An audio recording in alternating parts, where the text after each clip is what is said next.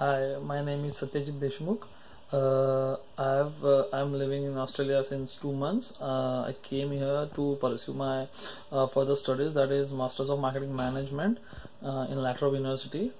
Uh, basically, I'm from India, so I'm here for next two years. Like my visa is for next two years.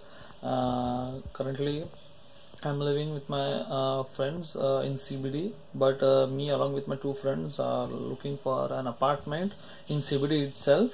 Uh, it should be around like uh, 2 BHK something, like 2 BHK apartment. Uh, we are planning to move in that apartment by the end of January. So if you have any property with you, so let us know.